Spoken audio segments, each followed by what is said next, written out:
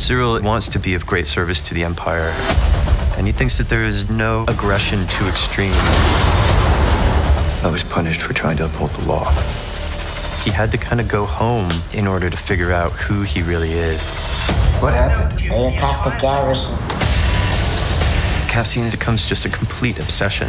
I have been trying to find him. Do you have any idea how much trouble you're in? The ISB represents just this pinnacle of everything that he's striving for. It's clear you need Andor in order to find his partner. That could be a valuable asset going forward.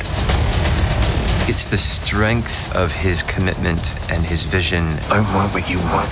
I sense it. You're out of your mind. That is a really powerful mix.